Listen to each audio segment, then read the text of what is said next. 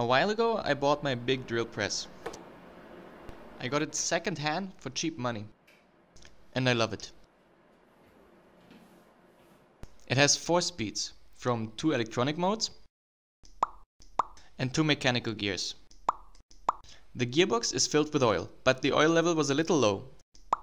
Plus, I was afraid that the oil was about 20 years old, so I decided to change it. And as I opened the drain plug, it really became obvious that it was just about time.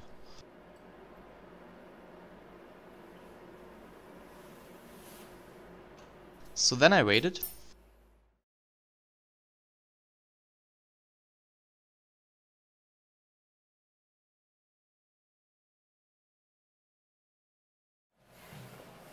And after all had come out, I could close the plug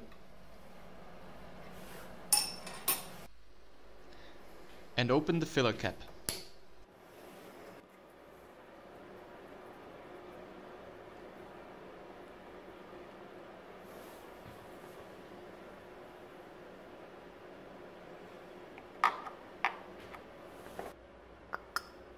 Because I didn't know what type of oil exactly the machine came with, I decided to not just put in new oil, but to give the system a cleanup with flushing oil first.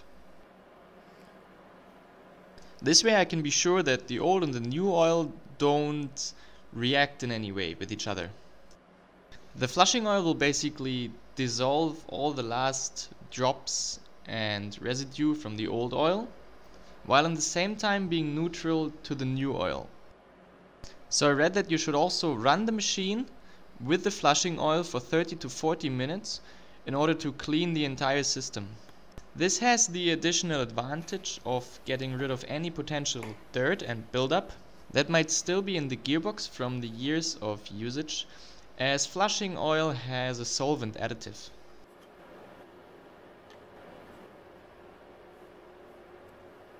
So my idea was to let the machine run for 30 minutes in the lowest speed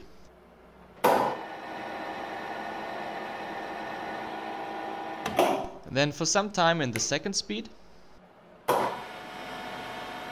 and then finally for 10 minutes in the third speed.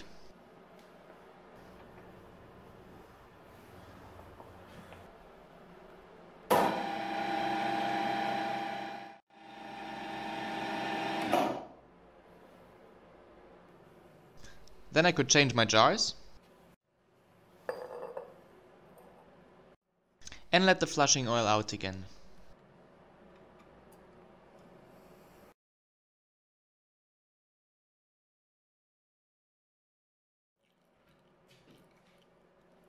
And you can see how nicely the flushing oil changed its colors, so it was totally worth it.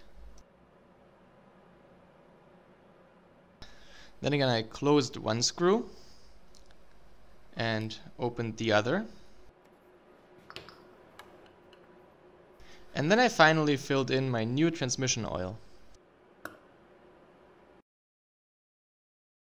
All the way to the mark. And that's it. Old machine, but new oil. And the next time the oil level is a little bit low, I can simply add some more. Thank you for watching.